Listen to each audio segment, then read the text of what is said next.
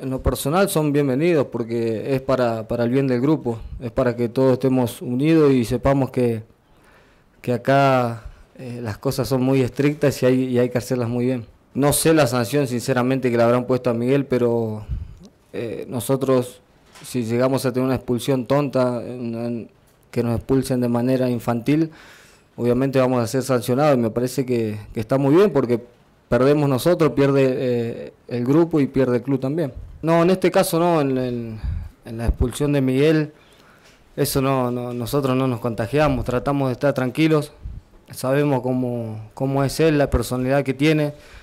Eh, nosotros los jugadores tratamos de, de agarrar siempre lo bueno, lo positivo. Me parece que no, porque va a estar Santiago y Santiago trabaja diariamente con nosotros y, también pone los trabajos al, igual que Miguel, así que eh, para nosotros va a ser eh, como si estuviera Miguel.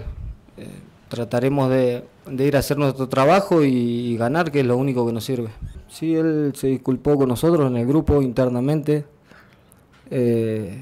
dijo que que, había estado mal, que, había reaccionado de, una manera que no era la correcta y bueno, nosotros como grupo, como, como plantel lo entendimos, ¿no? Pero, pero sí queremos que él esté con nosotros también, eh, se lo hicimos saber y me parece que eso es lo más importante, ese es un grupo y, por eso eh, hay que hablar y tener buena comunicación. En lo personal sí pienso que ha habido un progreso.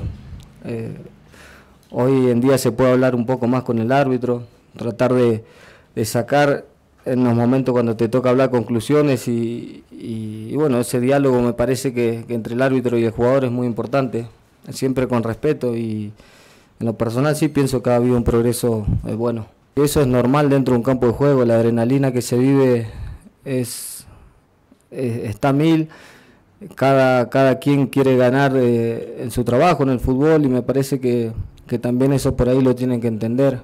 Eh, pero como lo dije recién, siempre con respeto, a mí me ha pasado, he tenido malas experiencias y, bueno, de eso uno aprende y trata de sacar siempre lo bueno.